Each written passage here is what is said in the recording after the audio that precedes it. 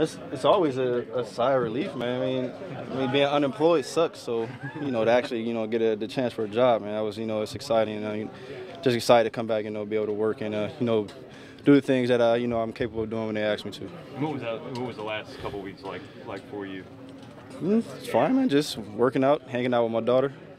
Did you No watch tryouts?